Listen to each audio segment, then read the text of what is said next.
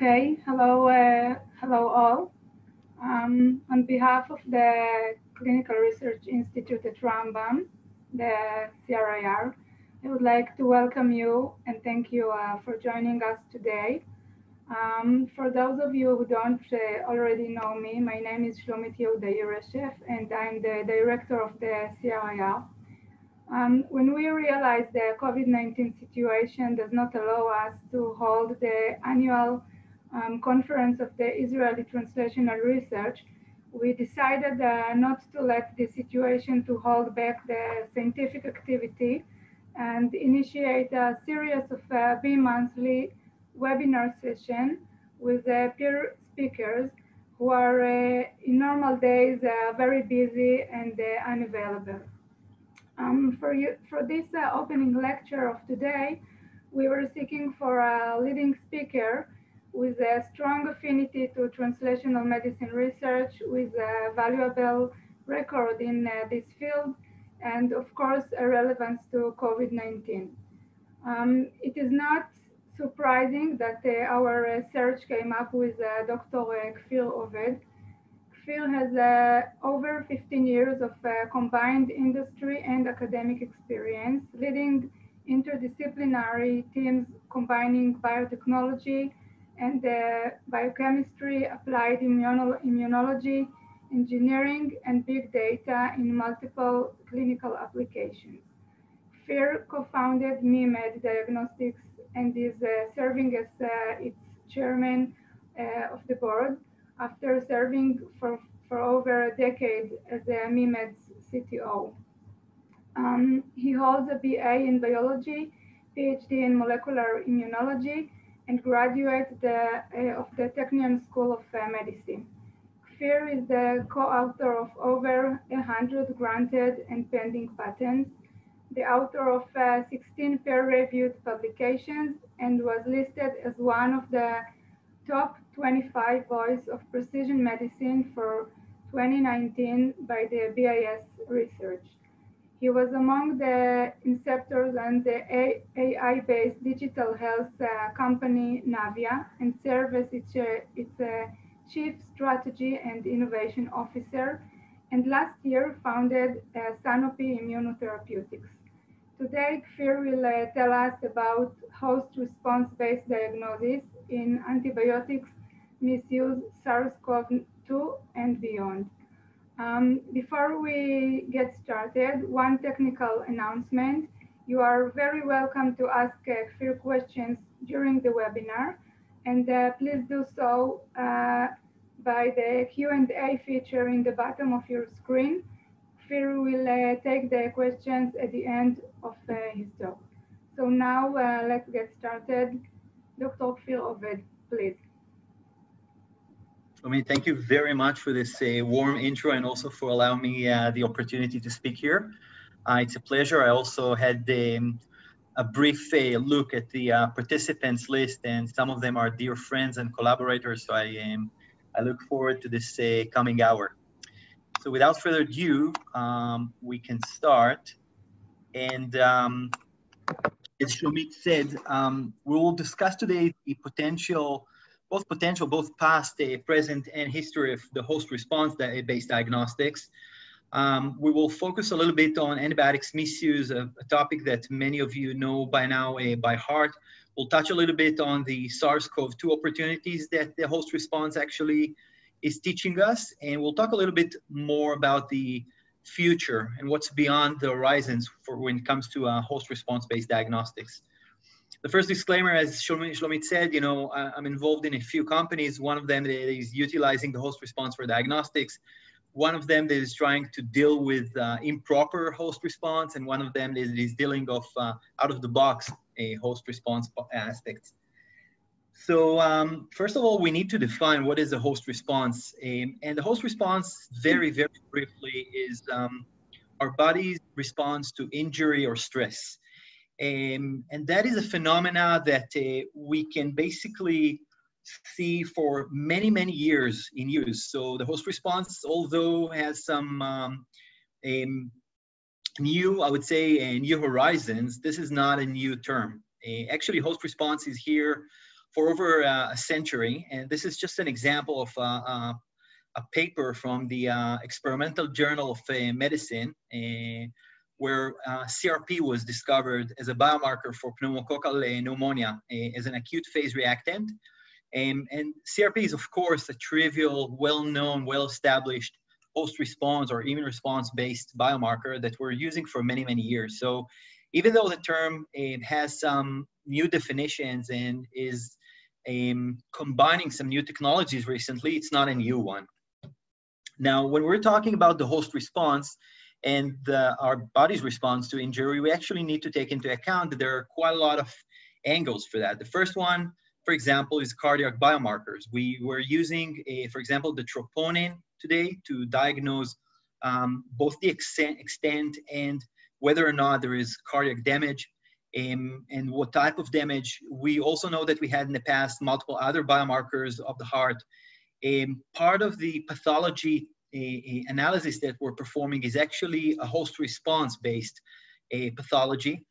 A CDC is a great example, another example, just a complete blood count. It's just another great example for host response based diagnostics that is in, in use for many, many years. And same goes for the sedimentation rate, less in use today, but still uh, served medicine for many, many years, um, and the acute phase reactants. What is not considered a host response, that's also maybe important to note. So genetics, for example, is not considered as a host response. Microbiological testing is not considered as a host response. Uh, also, physiological and functional testing of specific organs are usually not considered as the host response, and most of the imaging, even though there are some exceptions over there. So, taking everything into account, if our body is responding in a specific manner uh, to injury and stress, and we can somehow decode those signals, and, and read them properly, we might be able to better diagnose and also better treat our patients. And that is something that holds great promise, both for clinicians, for lab experts, for researchers, and most importantly, for the patients. And um, we need to take that and try to start, you know, focusing that. And I'll try to focus today one on one specific angle of the host response, which is the immune response.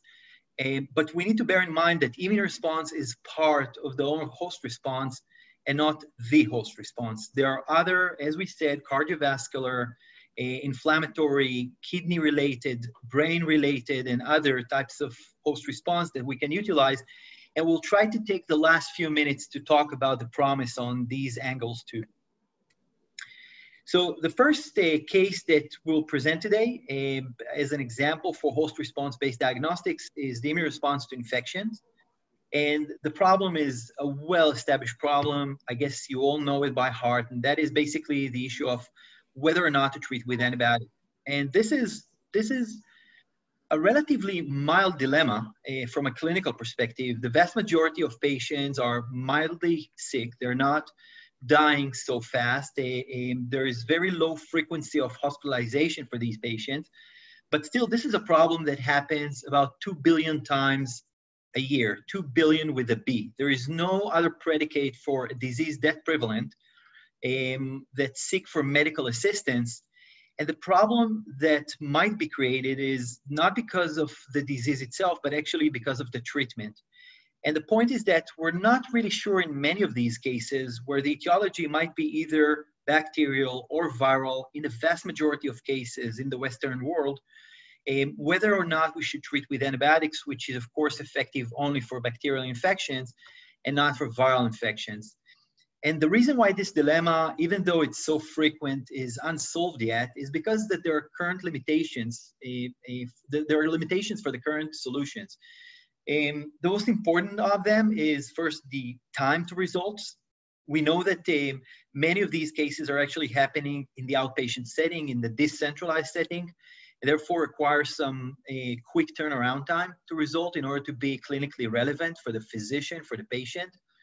Um, some of these infections are actually inaccessible. So even if we have very sensitive microbiological testing to actually sample the left lower lobe, is a very, very, I would say, invasive and not trivial task if uh, one has pneumonia. So that's a, a, real gap. We also know that we're carrying both bacteria and viruses um, uh, with a wide variety and a lot of, uh, I would say, strains and substrains. Again, both viruses and bacteria that once considered a obligatory pathogen, and now we know, you know, the more our sensitive our tools, we know that we carry them both at health and disease, and the fact that we've identified this pathogen in a patient does not necessarily mean that this is the disease-causing agent. So quite a lot of challenges. We also have the issue of evolving pathogen, a very relevant one. Right now, we'll touch the COVID-19 angle uh, later on. But basically, all these challenges are preventing us from prescribing antibiotics. And when we say prescribing, I mean a human, you know, modern medicine. And we have about 50% overuse of antibiotics and about, not less important, 20% of underuse. That means that these are patients with bacterial infection who do not receive antibiotics. The left part of the equation is not only important because we throw a, you know, we throw drugs down the toilet and, you know, we're just spending money and spending resources. It's also relevant because of side effects that some of these antibiotics has, and most importantly, because we're creating with our own hands um, a new era of antimicrobial resistant strains of bacteria that are becoming harder and harder to treat. And there was this uh, AMR report from Sir Jim O'Neill uh, uh, published in 2016, uh, which was trying to quantify the magnitude of this problem.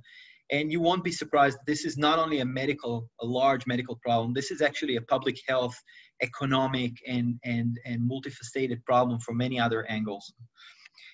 So the idea, and again, if we go back to the immune response, what can the immune response maybe offer us today here? Um, um, maybe you know some imaginary solution where we can have in a few minutes with an easy to easy to achieve sample get all the information we need in order to make these decisions for good and for bad not to miss bacterial infected patients who require antibiotics and also to provide antibiotics uh, uh, properly, but not to prescribe antibiotics to those who do not need it.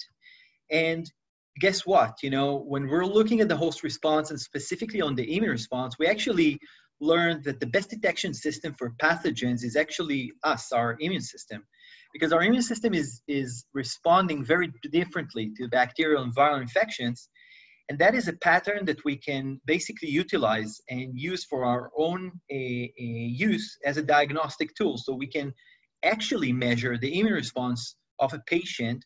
And by doing so, by measuring the right analytes, by integrating them properly, to say, this is an antibacterial immune response or this is an antiviral immune response. And guess what again? the immune system is usually more accurate than most of our currently available solutions. Now, the era of the i would say the the new era of host response to infection started in 2006 with this uh, publication from uh, octavio ramilo uh, i was then a, a, phd student i remember reading this paper uh, the week it was published Eh, I also had a colleague in my eh, lab who was uh, a postdoc eh, in the same lab at those days, which called me ecstatic about the potential of this of this finding. And basically, what Ramilo showed is that by measuring the gene expression profile of peripheral leukocytes, he can discriminate between bacterial and viral infections. At the time, Ramilo also suggested that we might be able not only to differentiate bacterial from viral infections, but also might be able to differentiate different strains and substrains of bacteria and viruses, a thing that we now know that was underpowered and could not hold truth, at least not in its original intent.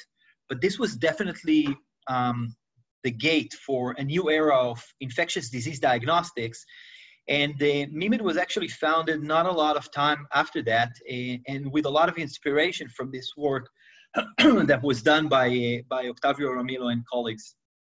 Now, we need to take into account that if we're coming up with a new solution, a new diagnostic or therapeutic solution, it, it doesn't need to be only a, um, you know, I I would say a novel, geeky, technological nuance. It needs to be a really valuable solution that you know, overcome some of the challenges of the currently available solutions and providing better medicine to patients. It's not about providing, you know, more cutting edge technology. It's more around closing a real gaps in, in clinical practice. And the immune response of a patient actually is really easy to measure if you're doing that right. So results can be available within minutes. It's relatively easy to use from multiple different aspects. You don't need any access to the infection site like this lower left lower lobe I just mentioned before. Our immune system is completely robust to uh, colonizations and to bystander viruses and bacteria, unless they're invasive and it's also a, it also gone through a very long evolutionary process so it's also robust to the changes of different strains and again going back to the to the sars-cov-2 which we'll talk in, in a few minutes that is something that was shown over and over again last decade by us and others um, that basically a virus is a virus there are nuances but the immune system is basically robust in its response to different viruses now we first study study the uh, immune response to patients uh, back in 2010. That's the, where when the study started. Uh, we started with some bioinformatics and some rational design uh, based on specific pathways that we su suspected that might be relevant in the host response to immunity uh, to, to infections. And with a down selection process, starting with 600 different proteins, we selected proteins in order to make these testing accessible at the point of care within minutes we down selected this long list of potential biomarkers into a list of three, TRAIL, IP10, and CRP, which we then combined uh, using a specific algorithm in order to provide us with the differentiation between antibacterial and antiviral infection. And these are the plots of TRAIL, CRP, and IP10. And as you can see, TRAIL is high in viral, low in bacterial infection. CRP is a mirror image of that, as you all well know. Um, and IP10, which we'll talk a little bit more uh, in a few minutes when we get to the SARS, is slightly elevated in viral than bacterial, but basically differentiate uh, infectious from non-infectious patients. By being able to integrate these three, which are completely independent pathways, um, and behave with a different temporal dynamics and different uh, half-life time, etc., we're able to create this um, multi-parametric model. And how does it work? And I'm trying to put here some, forgive me for being oversimplistic, but basically you can take the most in, in, um, informative biomarker you have and actually differentiate bacterial from viral infection. The first most uh, valuable one was TRAIL, a, a part of the TNF superfamily.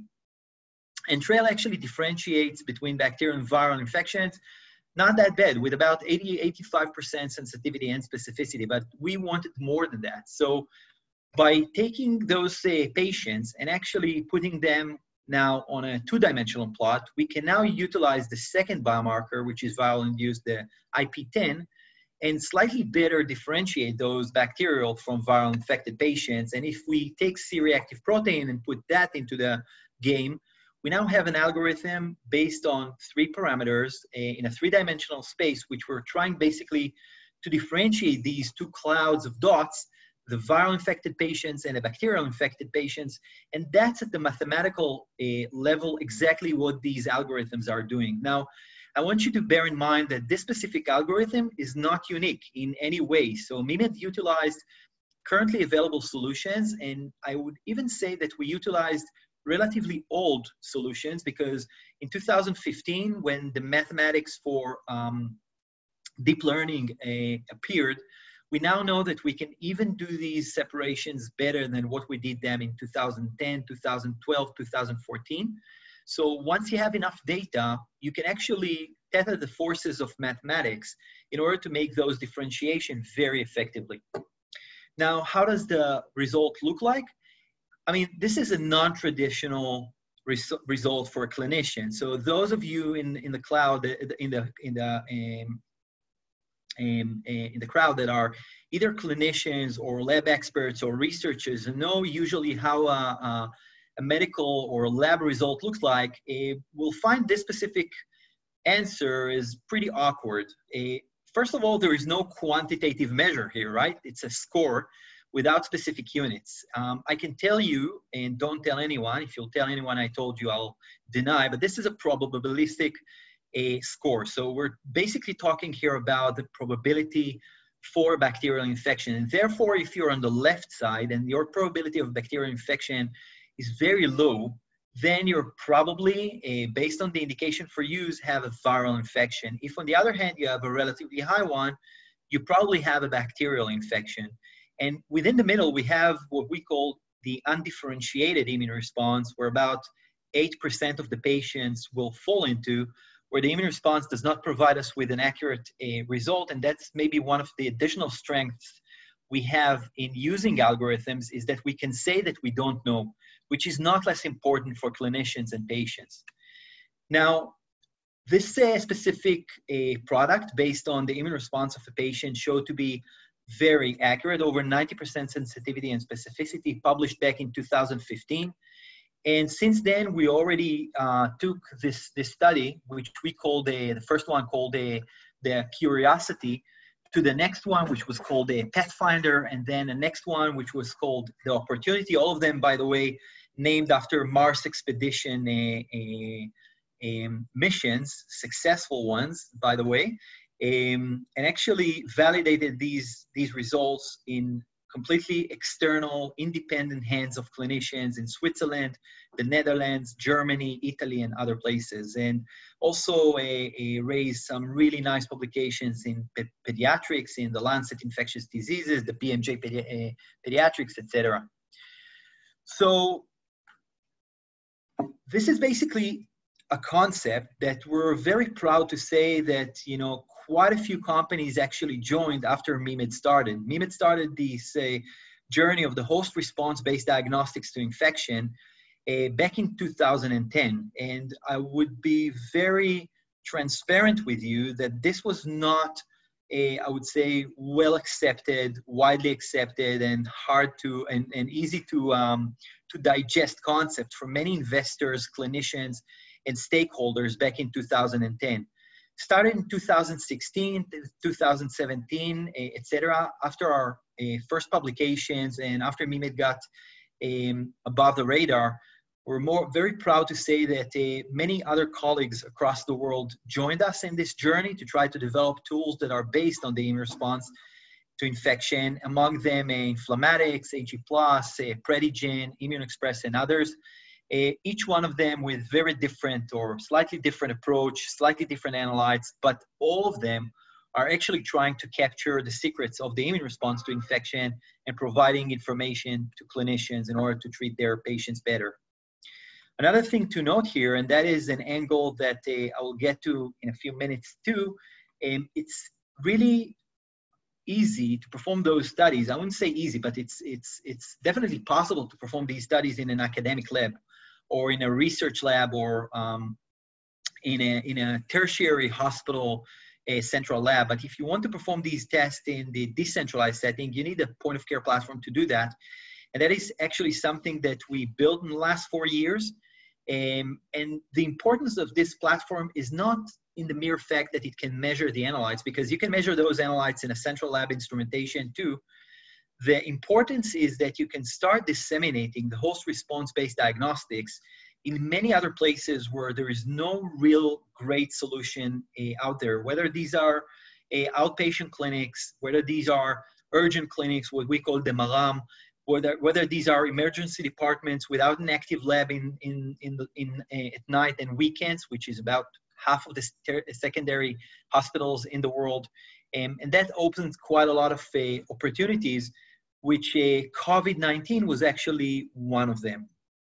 So when the, when the COVID-19, when the SARS-CoV-2 arrived, uh, MeMed as a host response-based company immediately, you know, joined forces with a few different stakeholders here in Israel and outside in order to see what, what can we contribute, what can we add to this, um, I would say, battery of tools that physicians have in dealing with the SARS-CoV-2 pandemics.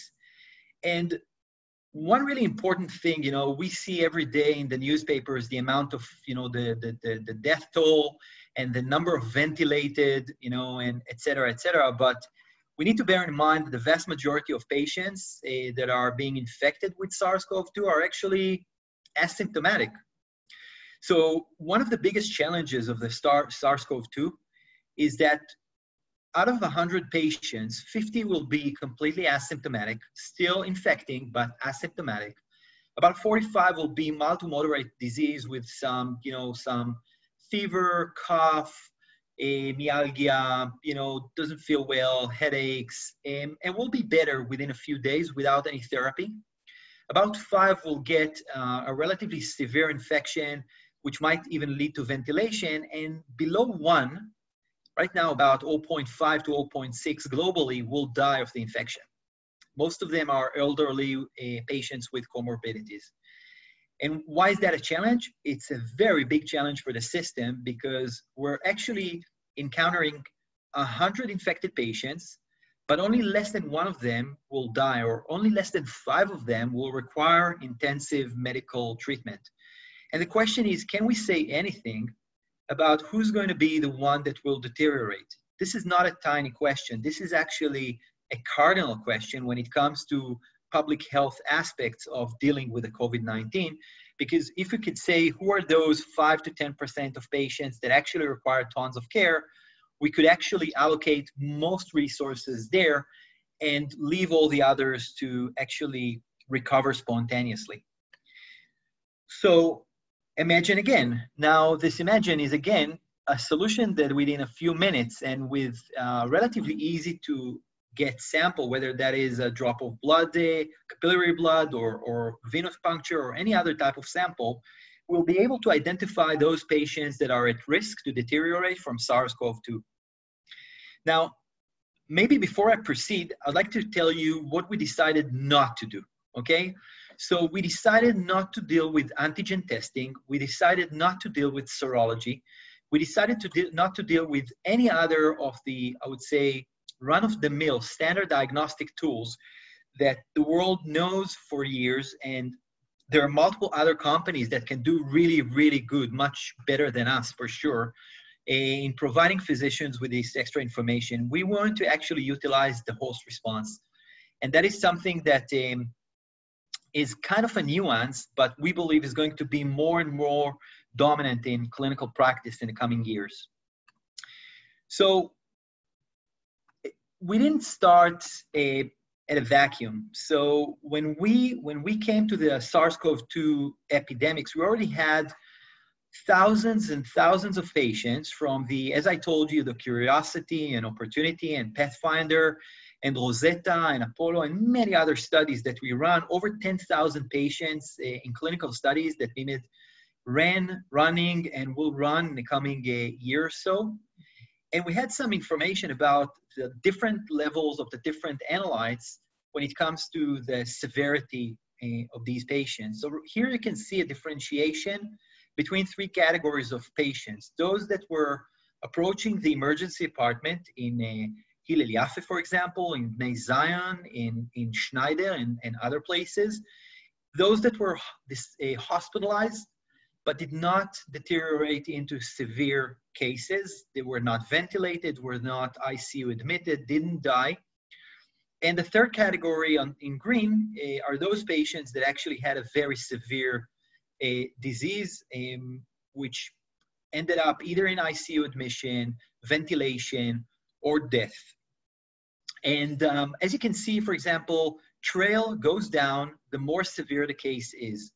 On the other hand, C-reactive protein goes up the more severe the disease is. Again, this is, by the way, well established. Trail was not well established, but CRP is well established in the literature. Same goes for procalcitonin at the lower left part, and you can also see um, other parameters, including white blood cells and others. What's really interesting is that, is that IP10, which I, I don't know if you remember, we mentioned before, it's um, interferon-induced protein um, uh, actually a chemokine, but did not really show a very clear pattern, and the p-value was actually insignificant between the different categories of patients, whether these were ED admitted, uh, discharged, sorry, hospitalized, or ICU slash uh, mortality patients. But we had this data, and we decided actually to utilize our currently available tools in order to start building better, a, a better tools for physicians to stratify those that might deteriorate. And here we had again the, the point of care platform, which allowed us to have a really fast response um, with a cloud-based tool that can allow us not only to perform the measurements pretty quickly uh, under epidemics conditions, but also actually start collecting the data. That is uh, actually a very uh, recent data. It was not available back uh, at the beginning of 2020 when we started this work. But the device right now is a cloud-based device, and we can actually imagine a case where we're actually monitoring at the country level, at the state level, at the county level, or any other level you can imagine, the level of uh, morbidity, the level of severity of those patients, et cetera, et cetera, and can actually not only provide information on the single patient, but also provide some real-time data to decision makers about the number of uh, sick patients, the level of severity in the different territories. So the first thing to measure, uh, because there was quite some quite some literature on IP10, was actually IP10, and IP10 showed a really interesting pattern in SARS-CoV-2, which was not seen in other cases of acute infection, mainly by the way bacterial infection, because the graphs I showed you before on the more severe side of patients uh, from our recent studies before the SARS-CoV-2 you can probably imagine that the vast majority of these patients were actually bacterially infected patients with invasive bacterial infections, whether these are bacteremia, a urosepsis, a, you know, um, lobar pneumonias, etc. Here, these are purely SARS-CoV-2 patients, and what you can see very easily is that there is a very high correlation between the levels of IP10 and the level of severity of the different patient. So this was actually done both a, at the single patient level and also at the temporal dynamics level. And without getting too much into details, just because we don't have the time to get into the fine details today, I can add on top of that that IP10 is also responding um, in a pretty high correlation to treatment with steroids. So one of the most interesting things, and that is actually something that happened you know, as we as we went, you know, and performed these testing in, in Beilinson and HaSharon Medical Center, which were uh, Haklalit Corona hospitals, actually the physicians started using the IP10 not only to predict who are those patients that are at risk, but also how much steroids to, to provide and whether there is a good response to, to the steroids administered, both at the quantity and the, the type of steroids that were administered. So this is a little bit about IP10, but I also showed you before that Trail 2 does have some prognostic uh, value. So it, unlike uh, its diagnostic, uh, uh, I would say, capacity as a marker to differentiate bacterial from viral infections, when Trail goes down below a certain level, it stops from being a diagnostic marker and starts to be some kind of a common path of an extreme stress response of our body uh, which is becoming actually a prognostic marker.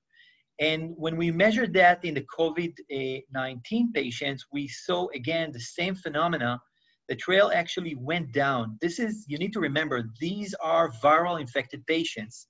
So these are patients where we expect trail to be high at the 100, 120, maybe 80, maybe 150, definitely not 50, okay? And interestingly enough, even though these patients had a viral infection, and even though trail is a viral induced biomarker, the level of stress and the severity of the disease and this common stress path as I, as I defined it, actually reduced trail levels to very low levels, which made trail now not into a, from a, from a diagnostic biomarker into a prognostic one.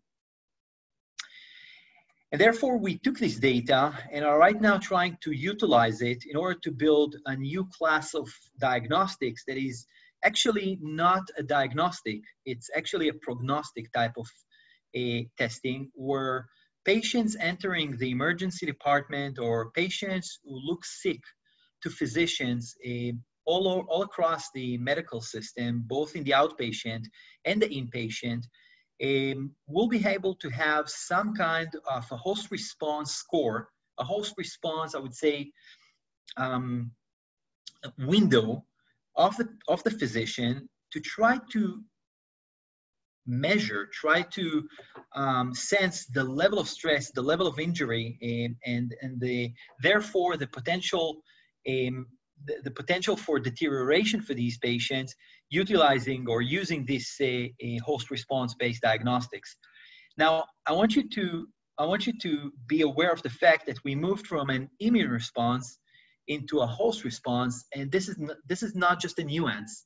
I'm saying that because, for example, low trail is not dependent whether it's a viral infection or a bacterial infection. This is a common stress response of our body.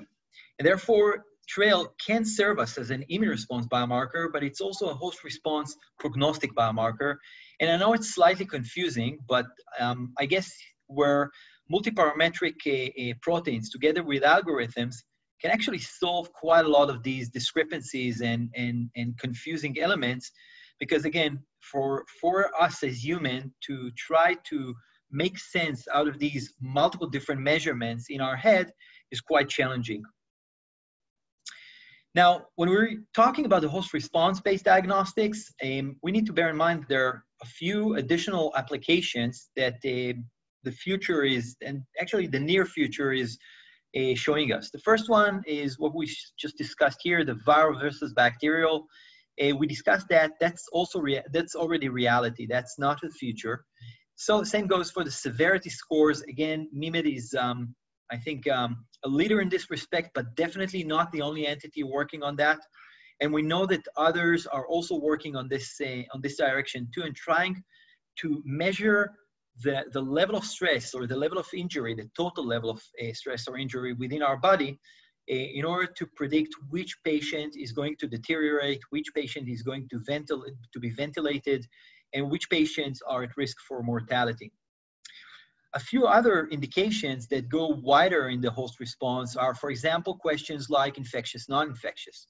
We know that in many clinical scenarios, the physician is actually struggling between the etiology, whether this is an infectious etiology or a non-infectious etiology. So this is definitely something both our immune system and the host response might be able to tell us.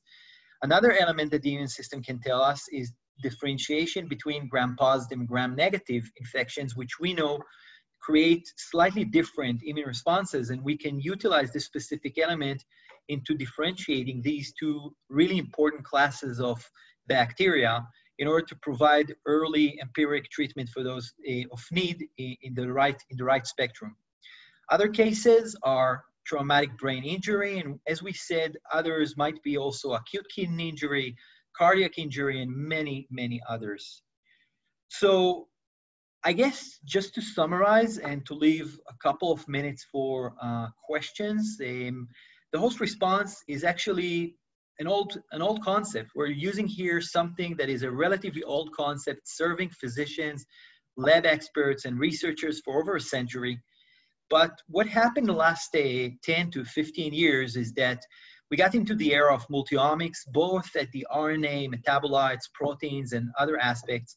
We have today the capability of artificial intelligence, and we also have the capabilities of quantification, the measurement tools that we have which are opening completely new era in terms of the opportunity and potential we can uh, we can have in the host response based diagnostics there are probably multiple other indications beyond those that we uh, discussed today which are well established around infection sepsis severity um, that are bearing great potential in the cardio in nephro neuro and other uh, parts of the medical practice uh, where the host response can provide us a completely different and new category of, of information to better diagnose and treat our patients.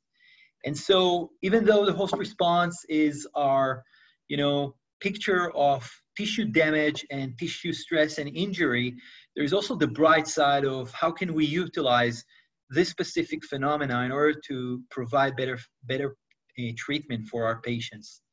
With, the, with that, I will conclude and just thank the amazing team here in MeMed um, and in many other places that they created this data and are a, a, highly appreciated partners in, in the hospitals and labs uh, in Israel and all across the globe.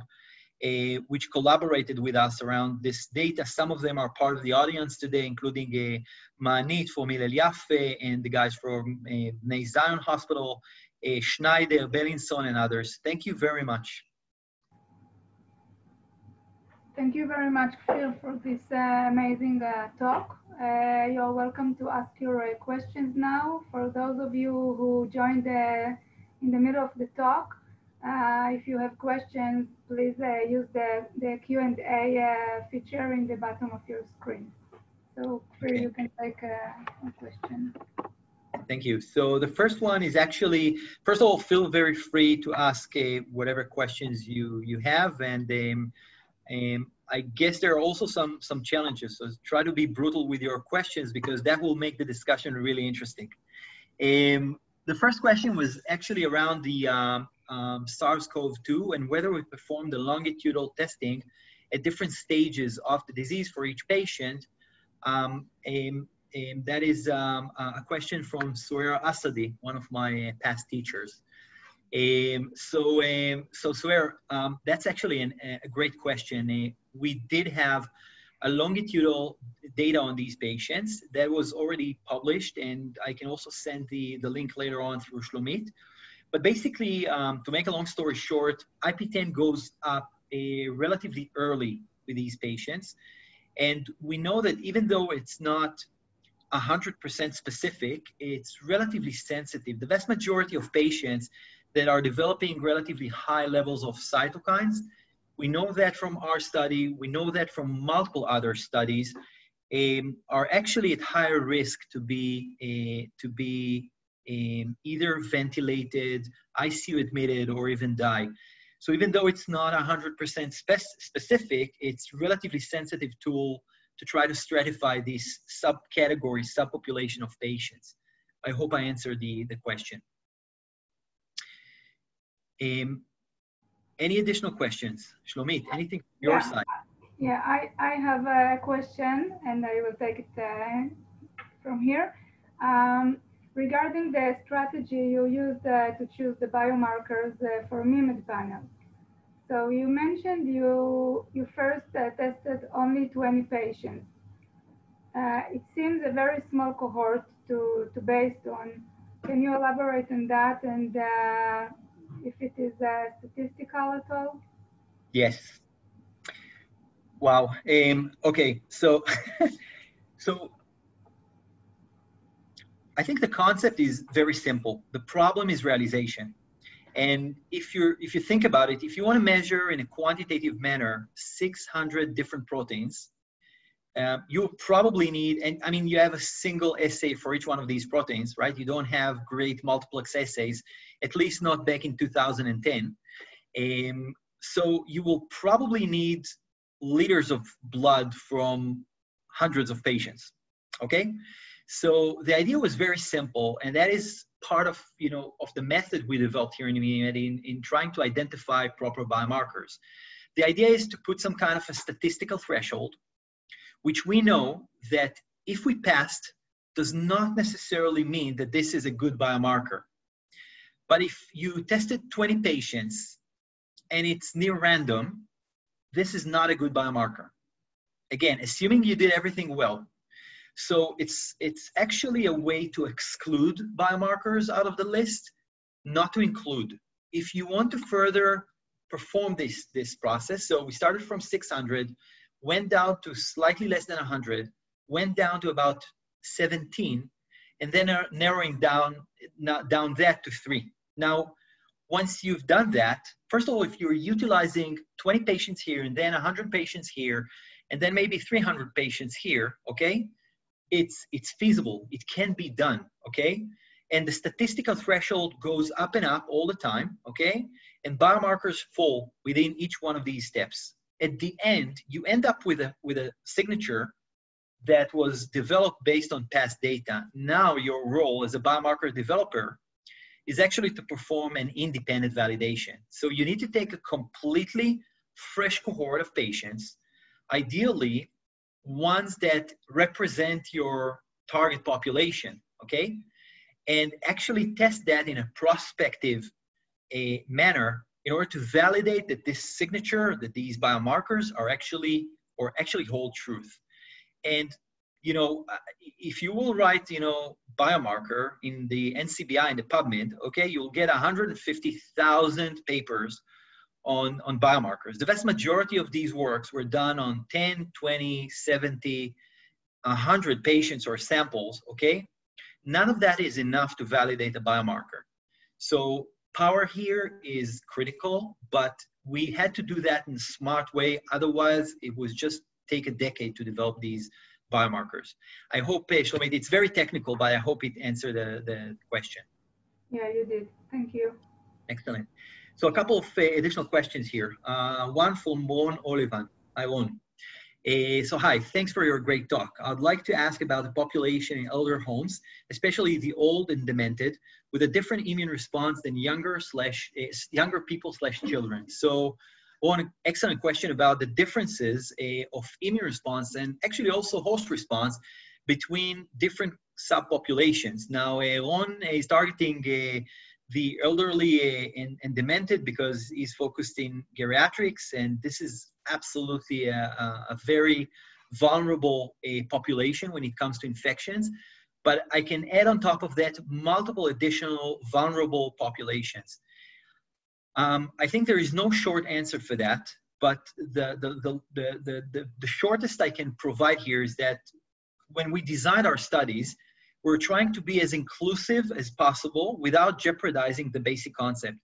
And the basic concept was that we want this, this diagnostics to work from the age of three months to the age of 120, regardless of whether you have comorbidities, of whether you have dementia at different levels, whether you come from a, a elder's home or coming from the kindergarten.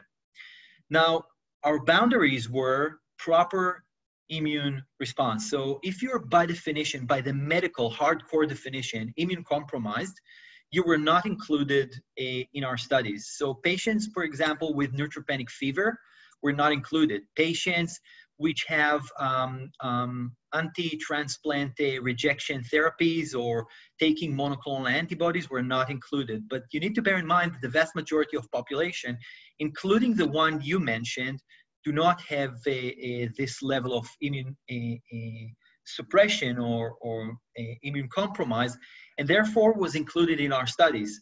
And actually, quite a few of our patients in multiple different studies were demented individuals, elderly patients with uh, multiple comorbidities and, and medications. We can say that even though the immune response or the host response is not identical, we can say that it's similar enough and the algorithm is robust enough to be able to identify those patients effectively as they were younger and healthier individuals. I hope it answered your, your question. Um, next uh, question from uh, Ron Volchinsky. Hi, Ron. Apart from using the system as a tool for short-term patient treatment, can we get the insight for patient who might be who might require less intensive care but will develop long COVID? So um, the short answer is that we don't know. We don't have enough data, neither long-term data, um, nor enough clinical, uh, uh, you know, follow-up data on these patients to be able to answer that. That is definitely something we're still um, exploring. Next question from uh, Dr. Noah Avni. Uh, do you expect different clinical pathologies to have a similar severity patterns applied by the same severity algorithm?